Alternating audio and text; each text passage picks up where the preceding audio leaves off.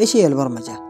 البرمجة بشكل عام هي الأوامر اللي يكتبها المبرمج للكمبيوتر وهذه الأوامر هي اللي تكون البرامج والتطبيقات والألعاب اللي نستخدمها. وبشكل عام في ثلاث خطوات أساسية. أول خطوة هي فكرة أو حل لمشكلة. وثاني خطوة هي تحليل لهذه الفكرة وتحويلها إلى خوارزمية وهذه تعتبر أهم خطوة. والخطوة الأخيرة هي تحويل هذه الخوارزمية إلى أوامر برمجية. نأخذ مثال. عندك برنامج صرافة. وواجهت مشكلة أن المستخدم يقدر يسحب أكثر من الرصيد اللي عنده. طيب إيش الحل في المشكلة هذه؟ أنه نحط شرط. قبل لا يسحب يشوف الرصيد. هل كافي أو لا؟ إذا كان كافي يسحب. إذا ما كان كافي يرفض العملية بكل بساطة. طيب نروح للخطوة اللي بعدها واللي هي الخوارزمية.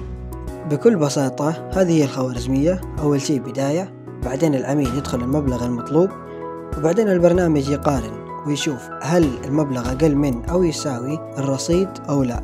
فإذا كان أقل من أو يساوي يخصم المبلغ من الرصيد وبعدين تتم عملية السحب وينهي البرنامج. أما إذا كان لا أكثر من الرصيد فيرسل رسالة رفض للعملية وينهي البرنامج.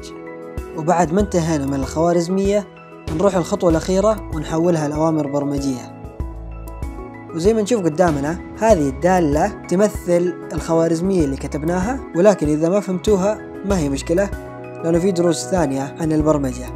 وهذا الفيديو الهدف منه توضيح البرمجة بصورة عامة وخطواتها. زي ما قلنا فكرة أو حل. تحليل تحويلها لأوامر برمجية. وهذه نهاية الفيديو. أتمنى أنه عجبكم وإذا استفدتوا منه انشروه مع غيركم عشان يستفيد. وإذا عندكم أي آراء ثانية أو خطوات ثانية للبرمجة اكتبوها في الكومنتس. وإذا ما أنت مشترك بالقناة اشترك عشان توصلك دروس زي هذه أول بأول. كان معكم عمر بالفقيه والسلام عليكم ورحمة الله وبركاته.